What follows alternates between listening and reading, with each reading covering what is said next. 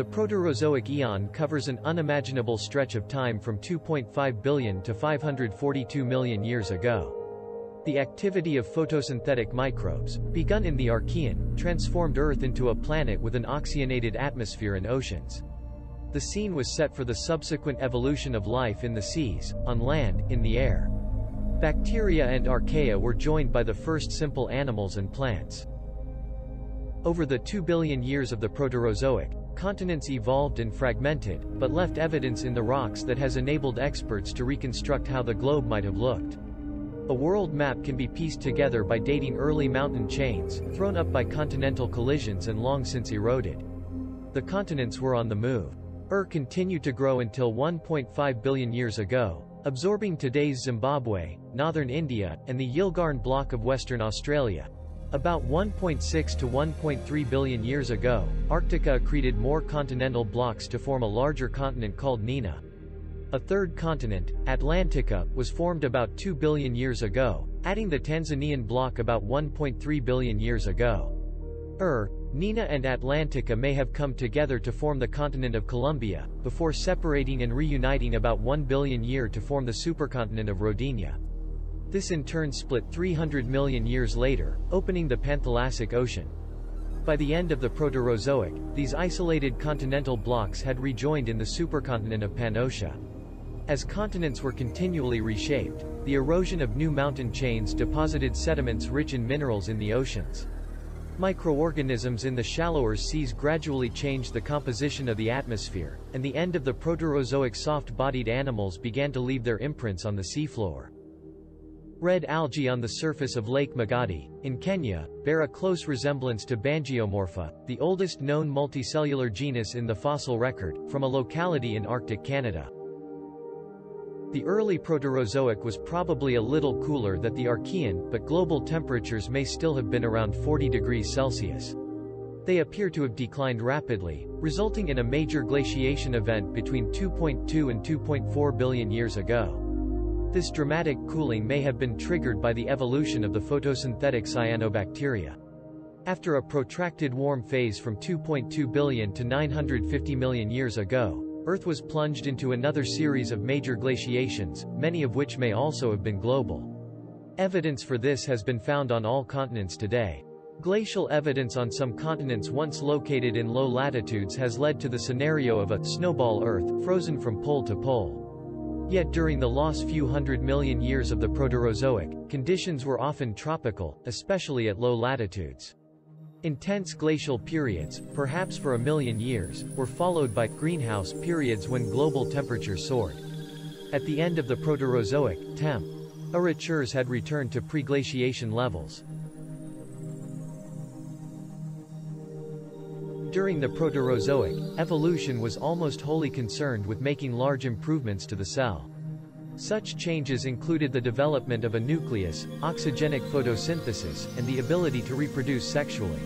Microfossils of this age are common in rocks called stromatolites, which are fossilized, cabbage-like growths of bacteria. They can be compared with bacteria found living today in salty lagoons and around hot springs.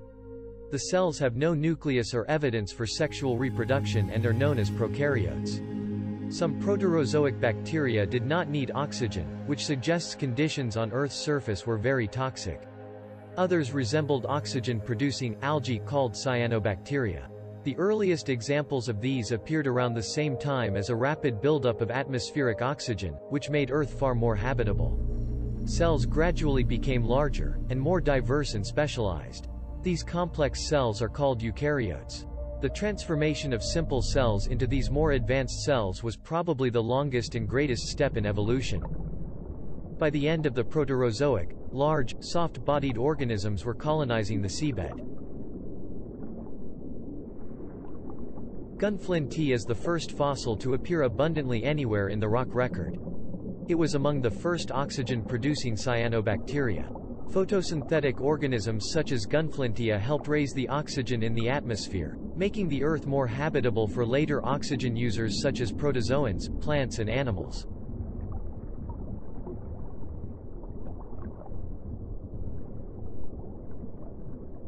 Fossilized Eoentophysalis occurs widely in shallow water Cherty rocks from the Proterozoic. It is very similar to a modern-day coccoid cyanobacterium, Entophysalis, which can still be found in shallow, salty lagoons. They are very cosmopolitan in the way they live.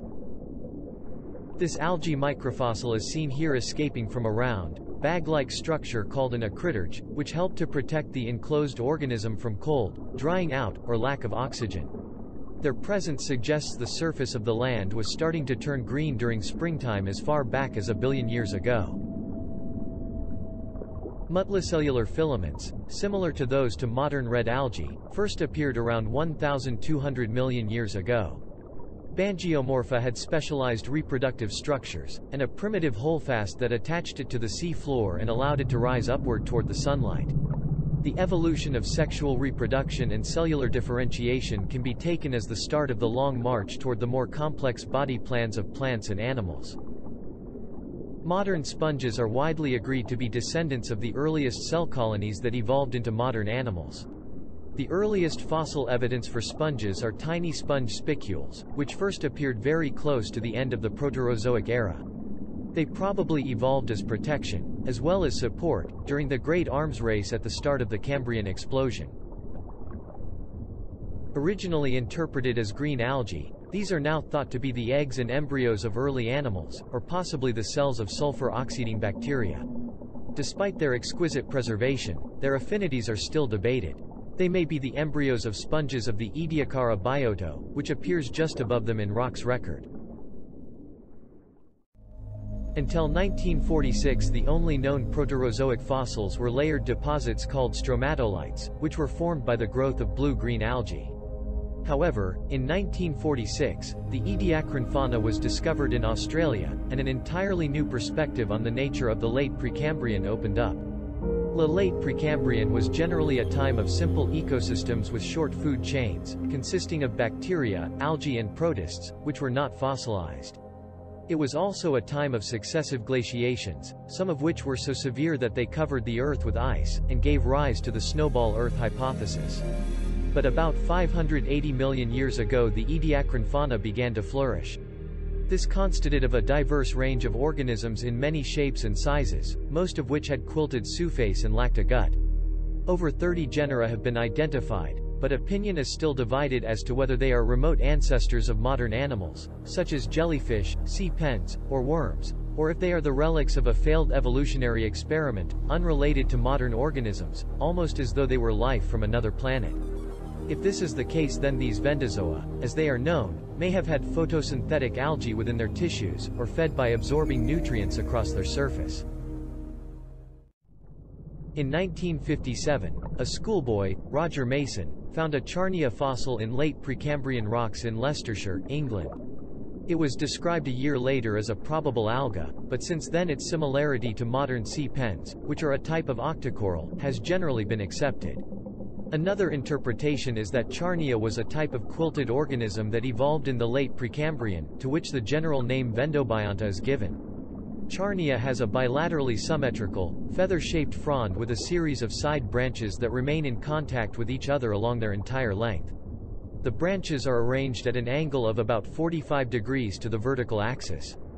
They have regular subdivisions that, if the organism were similar to a sea pen, would have housed the polyps. Some specimens have been found with a stem at the base, and in fossils of the related Charniodiscus, the stem is connected to a basal disc. This example has led to the theory that the disc-shaped fossils, Aspidella and Medusinites, are the anchoring discs of Charnia-like fronds. Although the fronds typically broke up when the organism died, the discs, which were already buried in the sediment, were fossilized. Recently, the suggestion that Charnia was similar to sea pens has been questioned because the mode of budding at the tip of the colony appears to differ from that of modern sea pens.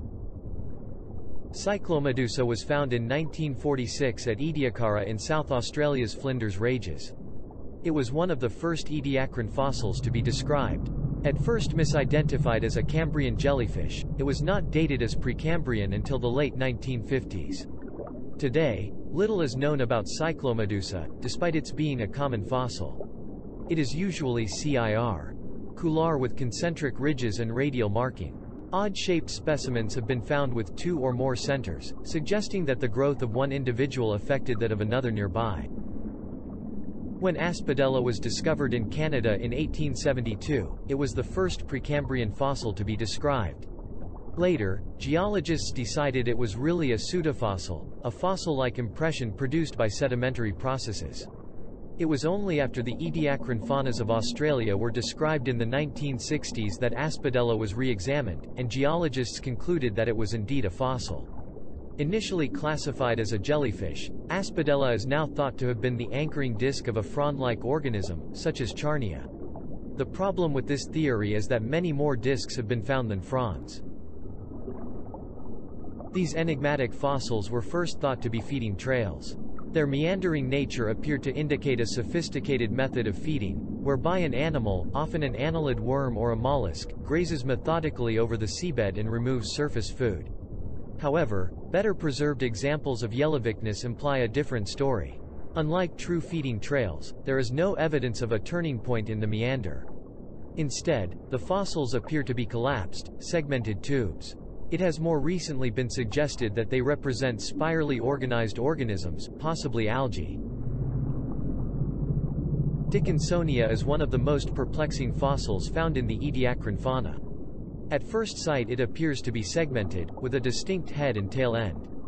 This led to the belief that it was a segmented marine worm. Hundreds of examples showing all growth stages and in various types of preservation have been collected, the largest specimens known are about 1 meter in length. However, no convincing gut or other internal structures have ever been found. This has led to the conclusion that Dickinsonia fed by absorbing food through its entire undersurface. More recently, it has been suggested that this strange animal may be a Placozoan, a group of animals that is represented by only one living species. Placozoans have only four types of cell, which exist in two layers.